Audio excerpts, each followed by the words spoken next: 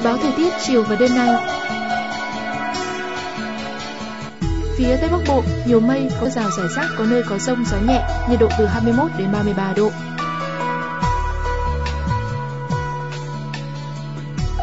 Phía Đông Bắc Bộ, nhiều mây, có mưa rào và rông rải rác, gió Đông Nam cấp 2, cấp 3. Trong cơn rông cần đề phòng có tố lốc và gió giật mạnh, lũ quét và sạt lở đất ở vùng núi, nhiệt độ từ 25 đến 33 độ.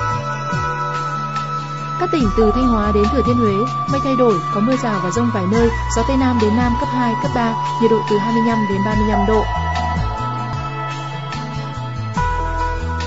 Các tỉnh ven biển từ Đà Nẵng đến Bình Thuận, mây thay đổi, có mưa rào và rông vài nơi, gió Tây Nam cấp 2, cấp 3, nhiệt độ từ 26 đến 35 độ.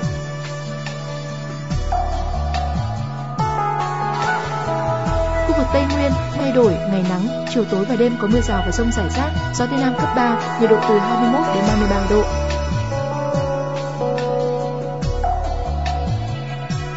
Các tỉnh Nam Bộ, mây thay đổi, ngày nắng, chiều tối và đêm có mưa rào và rông rải rác, gió Tây Nam cấp 3, nhiệt độ từ 25 đến 35 độ.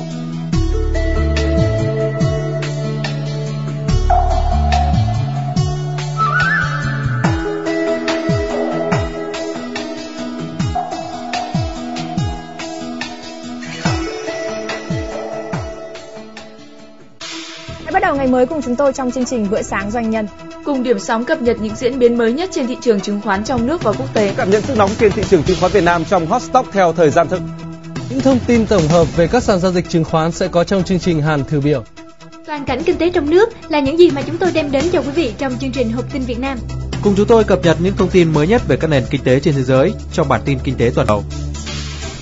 Những góc nhìn đa chiều, những phân tích chuyên sâu, tất cả sẽ có trong chương trình xây dựng và bất động sản. Tâm trấn chương trình phân tích chuyên sâu về tài chính chứng khoán trực tiếp lúc 19 giờ 55 phút. Hãy cập nhật những thông tin chi tiết về các thị trường hàng hóa trong bản tin xuất nhập khẩu. Những phân tích chuyên sâu về kinh tế thế giới sẽ có trong trên từng kinh tuyến. Thông tin chính xác, Nội dung sống động, tin tức cập nhật. mọi lúc, mọi nơi. VITV, khơi nguồn kinh doanh.